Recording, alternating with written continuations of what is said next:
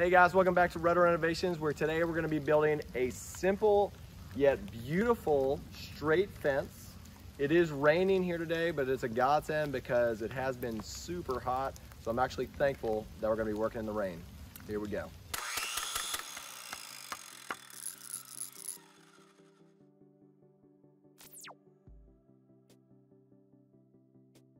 Whenever you're building a fence, the first thing you might think of is how do I make it into a straight line?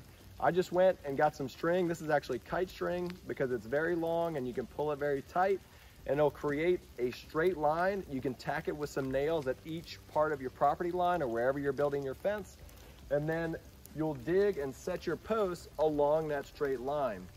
So the post, when you're digging the hole, it's gonna be big enough to where you can move it around and you can line it up and you'll just line it up flush with that line and then you should have an extremely straight and beautiful fence. For this project, I had to replace a relatively straight but rotten fence. Before pulling my string tight and to minimize the time I'd be disrupting neighbors, I dug the holes for my posts as close to the existing fence as possible before tearing it down. After my string was tight, I tore down the fence and adjusted my posts to ensure they were in a straight line. If you're wondering how to space out your posts, you can either use a tape measure or I prefer just to lay down one of the 2x4s that goes between the posts to see where I should dig my next hole. Your hole depth is supposed to be one third the length of your post. So if your post is 8 feet long like ours, your hole should be around 32 inches deep. When setting your post in concrete, you're supposed to fill one third of the hole with water first and then dump the concrete around the post, checking periodically to see if you need to add more water. Once the concrete reaches the top, you can form it to a slope that way the water will go away from the post. If you're lucky, maybe Spider-Man will pay you a visit during your project. As your post sets, make sure to use a level on both sides to ensure it's straight. All right, so we have all of our posts set. We're gonna let these harden overnight and then we'll come back and we'll put on our two by four by eight braces in between the posts and then we'll put on the fence pickets. If you need to get rid of the old posts, some of them might be so rotten that all you have to do is push from one side to another and they'll break. That's one way to do it.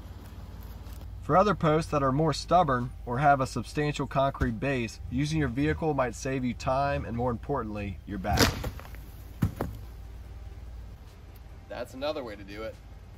If you choose this route, I'd strongly recommend using a static tow strap as opposed to a dynamic rope so there's no bungee effect. Mine is around 40 feet long and provides plenty of distance between the post and the car my vehicle is only front wheel drive, but if you have a four wheel drive, this process will be a little quicker and most likely won't require a running start on some of your poles. All right, so there's different ways to put up your cross braces. A lot of people will put them up just like this and they're meeting halfway in the middle of the post. I don't really like that because there's only about an inch and a half of a 2x4 there to screw into and over time the end will rot even if it's pressure treated wood and if you need to reattach it, you're going to have to put up a block or something like that in order to reattach this 2x4. So instead of doing that, I'm going to actually pull it the entire length of the post, drill it in here, and then I'm going to stagger and put the next one here, going to the next post, and then we'll start back up top, and we'll just alternate going back and forth. Now, it might not be as aesthetically pleasing, but if you don't like it on the back side, you're not going to see it on this side because we'll have the privacy fence up. But on the back side, if your neighbors don't like it, or let's say you're on this side of the fence, you can always do a shadow box or you can do a privacy fence on both sides, and then it won't matter. If you don't have anybody to help you hold up your cross braces, you can always take a block of wood and screw it in underneath for each section to hold it up while you go and attach the other part. During the process of installing my cross braces that the pickets will be attached to, I also use a string to ensure I'm creating a straight line. As you see, I didn't have anyone to help me install these, so I used the block technique I mentioned earlier to hold up one end of the 2x4 as I screwed in the other. To attach my cross braces to the 4x4 post, I used 3.5 inch screws.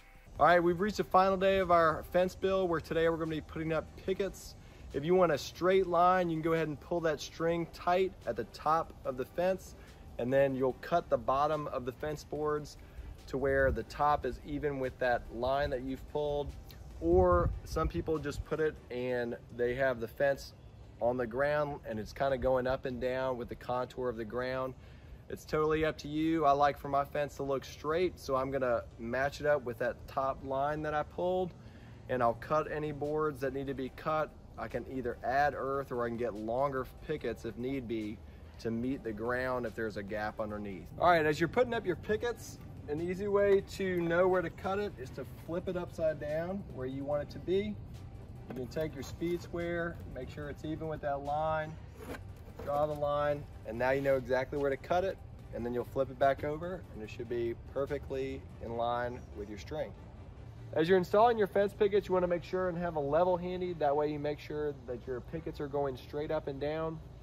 If they do get out of alignment, which happens because some of these boards are warped, You'll just want to adjust it a little over time as opposed to making it straight up and down on one board because it can leave a large gap. I would check about every four or five pickets just to make sure they're going straight up and down. And if it's not, adjust it over the course of a few boards. That way it's not as noticeable.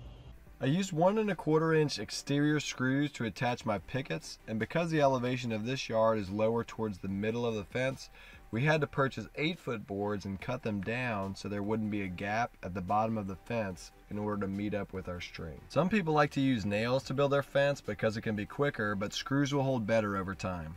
All right, when you get to the last picket, you can just measure the distance that you need the picket to be.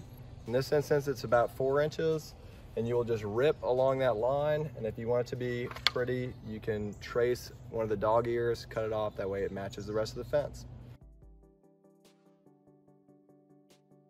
All right, guys, that's how you build a simple, straight, and beautiful fence. Hope this was helpful for you. If you have any questions, comment below. If you like it, like it, please subscribe, and we'll see you next time. Peace and God bless.